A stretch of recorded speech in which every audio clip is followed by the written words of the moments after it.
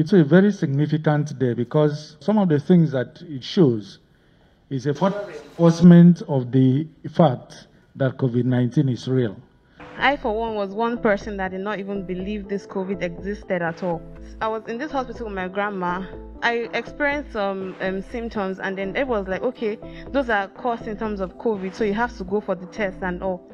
Okay, so when I went for the test, I went back home because I had to leave. I could not stay with her because of it was very possible for me to infect her. So they told me to distance myself from everybody for now until my test result was out. So when I went back home and then I was called and told that my test result was positive.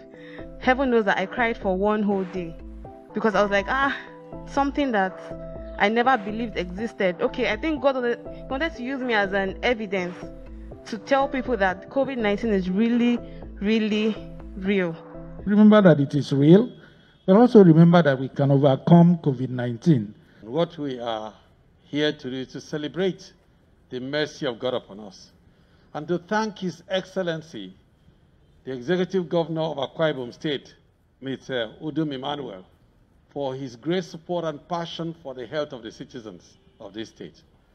We thank him very much. I want to say a very big thank you to the government, the Akwa Ibom State government, because they've been they've been amazing. Like the the, the effort they put into this um, COVID is is amazing. Our frontliners, the doctors, I want to say a very big thank you to all of them and to Almighty God for making me a testimony today.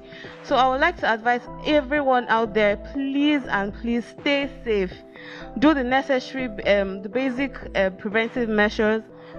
Wash your hands, social distancing, and all. Please observe social distancing and wear your mask.